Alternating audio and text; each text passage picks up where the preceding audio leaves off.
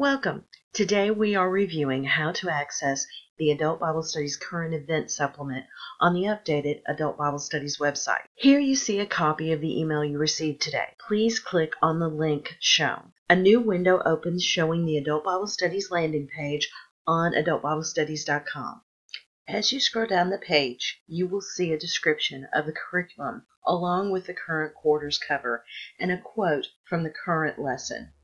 Finally, you will come to two tabs. The selected tab is for the current quarter's resources. To the right is the Current Events and Supplemental Resources tab.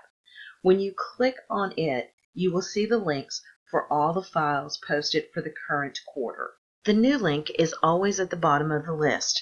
The free monthly supplemental resources are posted at the beginning of each month with the current events supplements following weekly.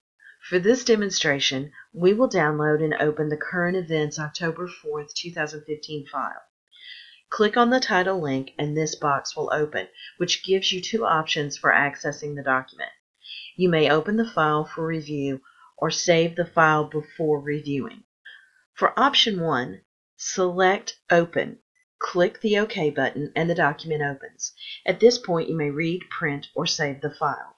For option 2, return to the website page and click on the current events October 4th, 2015 title again to open the box.